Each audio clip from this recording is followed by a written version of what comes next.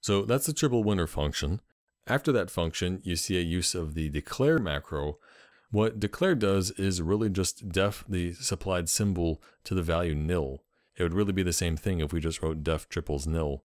But declare is preferred in this sort of situation because it better conveys our intent. We don't really want to give triples the value nil. We just want to make sure that the symbol triples is present in the current namespace because we happen to define our next function winner question mark before our triples function and the winner question mark function needs to invoke the triples function even though the triples function hasn't yet been defined when the winner function is compiled.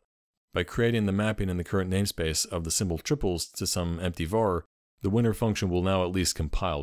It won't complain that the symbol triples doesn't resolve to anything, even though if we left the var of triples uh, empty, if we left it as nil, then of course at runtime trying to invoke triples as a function would uh, trigger an exception, because you can't invoke nil of course as a function. So that's what the declare form is for, when we need to make sure that a symbol to var mapping pre-exists for the satisfaction of compiling some function, even though we're not yet ready to define that thing.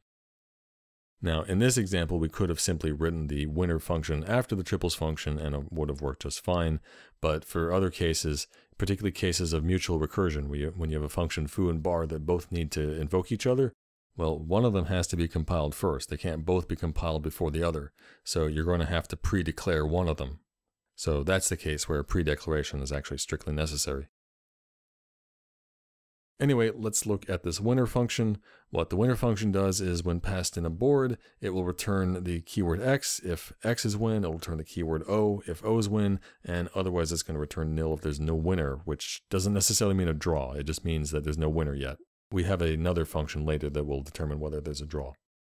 Looking in this function, we have a series of nested calls. Looking at the innermost call, we're invoking the triples function, passing in board, and as we already discussed, the triples function uh, returns a sequence of all the triples of the board.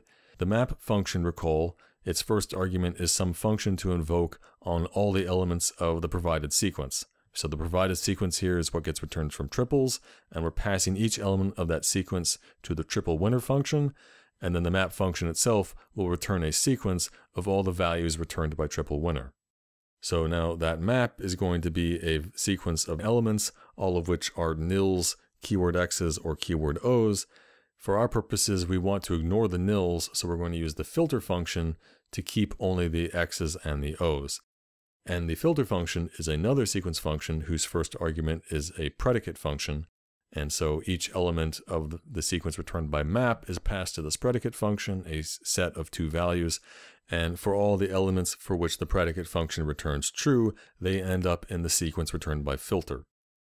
So this call to filter returns a sequence that has all the values from map which meet this predicate, which are either the keyword x or the keyword o. And then what filter returns that sequence, we're getting its first value, and that's what we return from winner. So first consider the case where our board has no winner, then the map function here is going to return a sequence of all nils, and we call filter on that, and we get an empty sequence, call first on an empty sequence, and you get the value nil. In the case, though, where one and only one of the triples is made up of all keyword x's, then the map function will return a sequence with just one value, keyword x, and so filter will likewise return the same sequence, and then first we'll return the sole value of that sequence, the keyword x, and that's what our function is going to return. Same story if our board has one triple and only one triple that's filled in entirely with keyword o's. Our function is going to return keyword o. Now, there could be the case of multiple triples having winners. You could have like one row that's filled entirely with x's and another row that's filled entirely with o's. Such a board could logically exist, but as you'll see elsewhere, we're not going to get there because the first time we get a board that has a winner, we're going to stop the game, so uh, we don't really need to consider such cases. Just be clear, if you did have such a board passed to this winner function, then whether this function returns x or o would just be a matter of looking at the triples function, uh, which one of those rows, columns, or diagonals comes first in the sequence returned by triples. But it's probably best you consider such behavior to be undefined, because again, we really don't care about such cases. We're not supposed to get there. Our board shouldn't get into that state. Anyway, hopefully you now understand these three functions.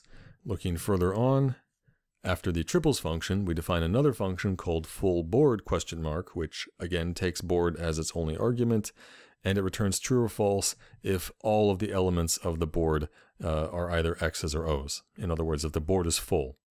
This function is quite simple. Again, we're using the every sequence function with a set as predicate, such that if all the values of the board are found in this set, then every will return true, otherwise it will return false. So if any of the values in our board are neither keyword x's or keyword o's, if they're the value nil, then the full board function will return false. After the full board function, we define another function, print board, which will display a board on the console. And note that this is actually our first impure function.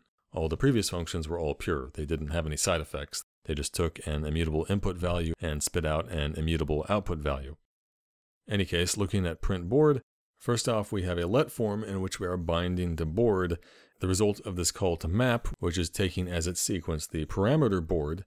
Remember, we can do this in let forms. The expression that returns the value we're binding to the symbol can use a symbol of the same name from the surrounding context, and that actually works fine in let. So the board that we're binding to and the board we're taking the value from, the let form knows that they're separate values.